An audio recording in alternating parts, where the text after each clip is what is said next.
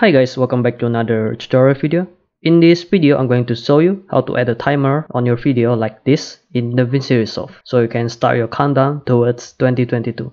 Okay, so without any further ado, let's jump into DaVinci Resolve and get started. Okay, so here we are in DaVinci Resolve and for your informations, this is the most basic timer that we're going to make there's a more advanced timer that you can make in Fusion tab but I won't show you how to do that in this video. Maybe I'll make another video about that in the future. Okay so first I will create a new timeline. And then go to effects titles then drag the text plus to the timeline. Okay and I will extend the duration to 15 seconds and as you can see on the screen this is just a basic text okay? So click on the text clip then go to inspector tab and right click on the text tab then click on timecode and the text will change into timer okay? When you play the video the timer will start to count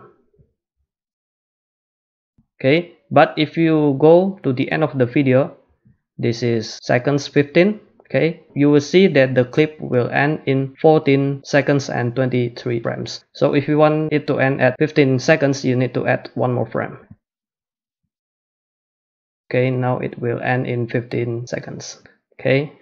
And on the preview you can see that we got hours minutes seconds and frames. But most of us don't use these hours and frames. So to get rid of it just scroll down until you see Write On then to make the hours disappear, just drag the Write On from left to right, like this. And then the frames from right to left. Okay. And you can also change the font type, the color, and the size. Then you can also set the spacing okay and we got a lot more settings here. Okay so next I will show you how to make this timer into a countdown because this timer is just counting up.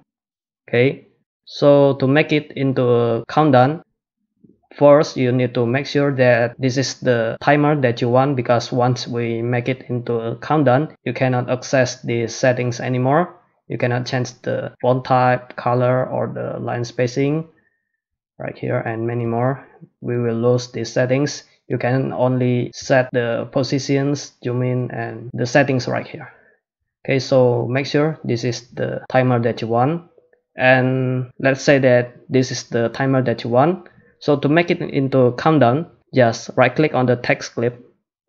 And then we will make this text clip into a new compound clip.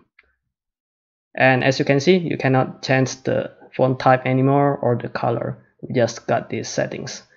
Okay now we will reverse this clip to make it into countdown. Just right click on it then click on change clip speed and check on this reverse speed. You will see that the speed and frames per seconds will change into minus then click change and now the timer is counting down. As you can see okay so that was how to add a timer to your video in DaVinci Resolve. And like I said before this is the most basic timer that you can add in DaVinci Resolve there's a more advanced one in Fusion tab. Maybe I'll make another video about that in the future.